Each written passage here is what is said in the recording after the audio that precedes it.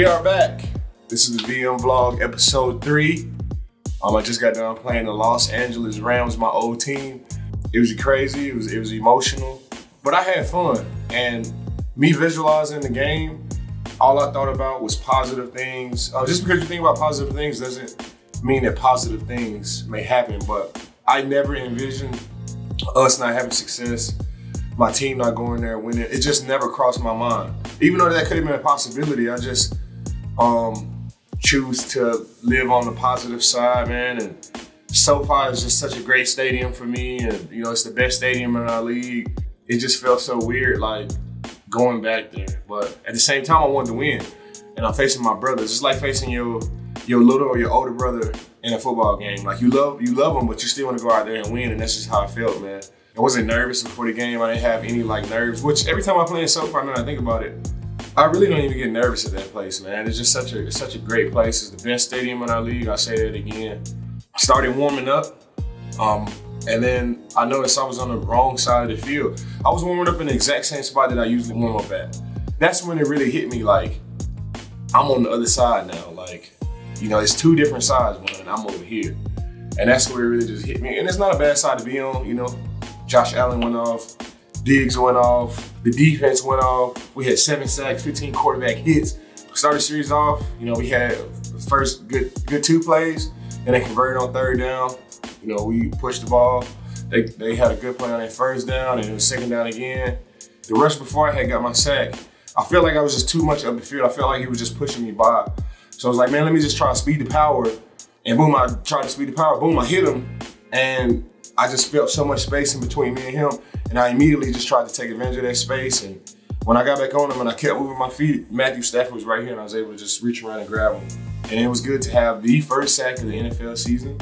And it felt good to have the first sack as a Buffalo Bill and to have my first sack on my first drive as a Buffalo Bill. So I didn't expect to have a sack the first drive, but I did envision it. I'm not gonna lie, I did envision me having a sack early on on the first drive. So it's cool to like think about that and hope I get a sack on the first drive and it, and it and it actually happened. That felt good. You know, all your nerves and everything just goes out the door. Even though I wasn't nervous, but it's good to know, okay, I got the sack out the way, now I can just play. You know, we start playing football and, you know, it's a, it's a, it's a hard fought fight. We going to halftime, 10-10, uh, and my message to everybody was, Don't blink! Don't blink! Hey, don't blink! Don't blink! And uh, I played in a lot of these uh, these high stress games. I played in Super Bowls, played in big games during the season, playoff games. And the one common theme that I like to tell my teammates is Don't blink, don't blink, don't blink. I didn't know I was saying it that much. I was just I just wanted to prove a point of not blinking because in a championship fight, you know, they're gonna throw punches, we gonna throw punches, but you don't want to blink and get slept with a haymaker and the game be over with. So that was my message to the guys is don't blink, don't blink, don't blink. We come out in the third quarter. Then my second sack, you know, I had I had a chipper outside, and I was just like, bro, let me get past this chipper. I was able to get a good uh, jump on the chipper. Then I had a, a true one-on-one with the tackle, even though it's kind of like a bootleg one-on-one because I'm so far up the field off a chip, and I still got a guy in front of me. I was able somehow to just to shake and slip underneath. When I dipped, I just felt free and I just was able to curve back around. And when I curved back around, Matthew Stafford was right there and I reached and I tried to get the ball out. You know, the ball didn't come out. I wish the ball would have came out. That would have been perfect. Like I said before, man, it just feels good to go out there and do your job. I was mic'd up for the game. And I do not like knowing that I'm mic'd up. So I gave Derek and the guys over at the Buffalo Bills uh, media staff, I gave them my consent. Way in the off season, said, hey, if y'all ever want to mic me up, just do it. Don't tell me because if somebody tells you that you're mic'd up, you're either gonna say too much or you're not gonna say enough. And I just want it to be natural, man. I don't wanna, I just wanna be me, man. I don't wanna be out there like saying random shit. Like I just, I just wanna be out there and I just wanna be me, man. I wanna be free. I don't, I like to have um, as many stresses off of me as possible. Like, I don't wanna know I'm mic'd up. I just wanna go out there and play the game. And you guys have my consent to capture that, that footage. It was cool to see, like, bro, on the field, I don't say anything. It doesn't matter what the situation is. I don't say anything on the field.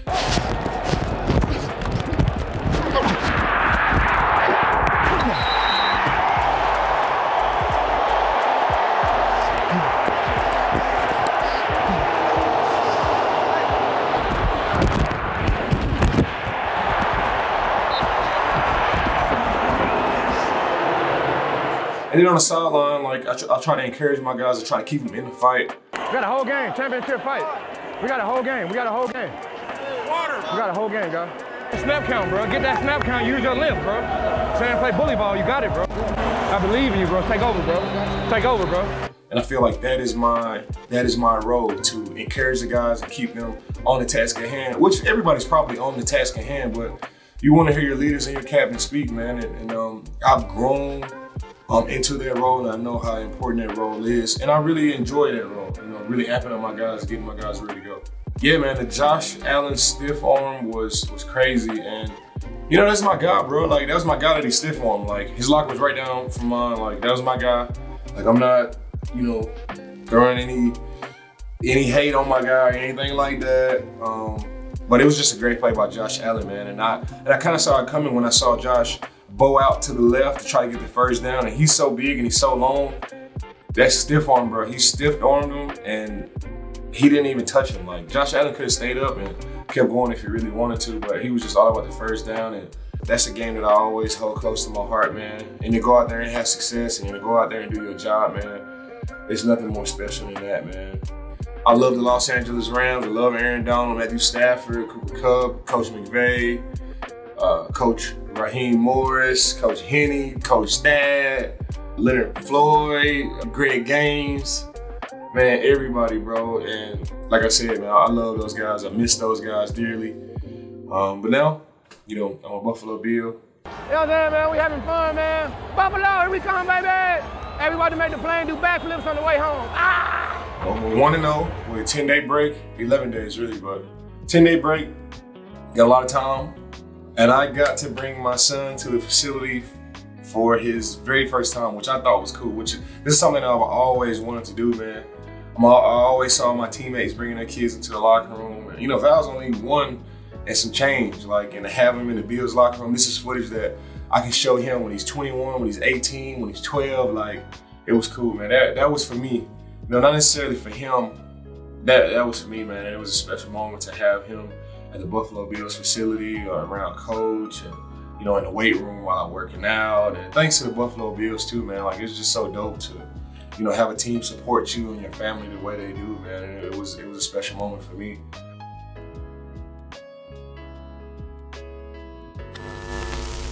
Hey guys, I got a new segment for you guys. I got the VM vlog, and I'm always trying to find ways to interact with my fans. And this is a cool new way to do it.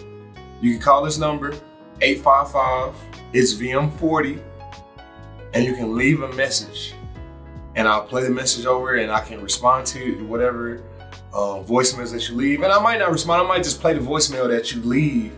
It's a unique. Uh, you know, add on to, you know, my vlog. And even though that I might not respond to it, I can put it on the vlog and I can just hear all the fans' thoughts about the game, positive or negative. I just thought it was a cool new segment that I can add to my vlog, man. So if you guys want to leave a voicemail for me, number is 855 it's VM40. Check it out. Super Bowl champion, Super Bowl MVP. Von Miller. Von Miller. Von Miller. Von Miller.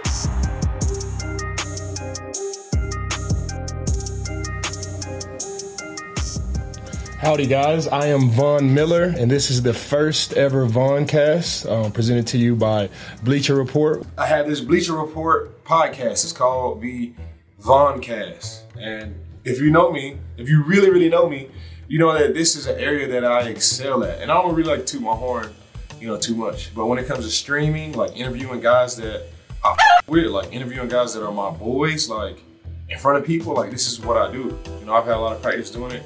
I have my, you know, my Twitch where I game. I'm not very good at gaming, but the um, the element of you know keeping the, the viewers engaged is just something that I've always been good at. And I think streaming and gaming is two different things. And when you can stream and game, that's when you have the the ninjas and the Nick Mercs and all this stuff. But you know, I'm just a streamer. I'm an entertainer, and I love to play video games. And this Bleacher Report podcast, the Voncast, is just a great fit for me.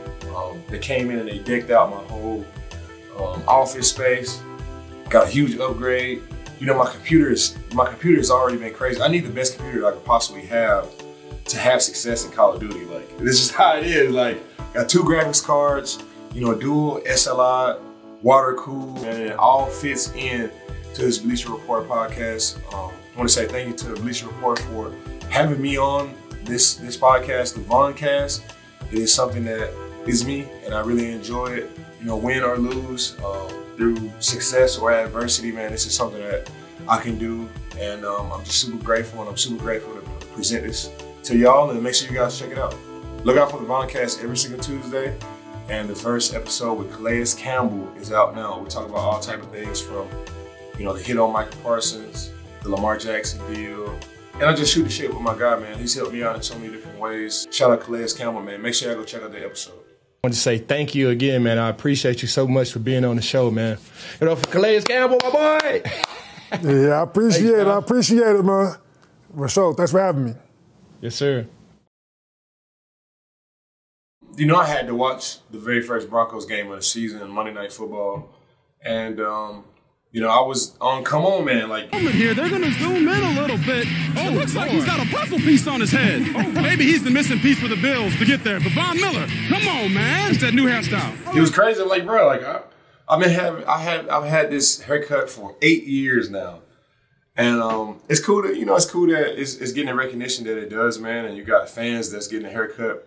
Like, it just shows you, like, how cool Bills Mafia is, man. You got so many guys getting a haircut, man. Like everybody, you know, loves it, man. I'm getting bullied too at the same time. So Ed, so this could be like a lesson to the kids. Like, you know, everybody's not gonna like stuff that you do, and you just gotta like brush it off your shoulders. Like for as much love that I get for it, like I get hate for it. And I know it's just trolls online, like, but I'm not gonna let that bother me. I'm not gonna cut it off just because you know people said people make jokes about it or whatever. Like it's me. It has meaning behind it triangle is perfectly balanced on each and every side. And, um, you know, it, it, it really re represents uh, positive energy, especially in the direction that it's pointing. It's pointing up to my brain so I can be positive through each and every situation. Um, and it also uh, represents manifestation. And you all know what we're trying to manifest this season. We're trying to manifest the Super Bowl, trying to be the best leader I could possibly can be for my teammates. I'm trying to be a, a light, a positive energy for all of my teammates in this community. And I think my haircut just represents where I am in my life. It's all about enlightenment. It's all about um, evolving into a better um, you. And um, it's just perfect. I'm happy to see like people get their haircuts. It is a haircut that everybody can get. Even if you bald and you got like a horseshoe, like the hair back here grows. So I'm bringing haircuts back for the bald guys. Like, man, something that you can do, man. Like, it's just cool, man. You know, I, I accept me for me. Um, this is my hair. Um, this is how it grows. Like, this is my design that I came up with. And, you know, it's me, whether people like it or not, man. And this could be a lesson to, you know, kids. Like, you know, everybody's not going to be on board with the, with the shit that you do, man. And, you know, it, it feels cool, like, to have it and for it to get, like, you know, the recognition that it does, man. It was on Monday Night Football. You know, um, the very first game of the season, like people starting to get it now. Like it's dope, man. I hope you know, one of the little kids seeing this now, like, y'all getting bullied, man, like, just brush it off to the side. It's just how society is, bro. Like, it's just how people are. Like, they they they love being trolls. They love putting people down. But it's not gonna happen to me because I am so comfortable in my own skin. Been wearing glasses my whole entire life. I've been a geek my whole entire life. And I hope the way I handle the situation, it helps somebody, man. I'm happy to be a Buffalo Bill. I'm excited for this this Monday Night Football game coming up versus a very, very tough Tennessee Titans team from the head coach all the way down to, to the cafeteria and the janitors over there at, at the Tennessee Titans. I'm sure everybody's all tough guys and tough women. And um, it's going to be a tough one on Monday, and I'm super excited about it. I appreciate you guys for tuning in to um, this week's vlog. Um, I'm DJ Sauce on the Done. Every Thursday, y'all check me out. And we out.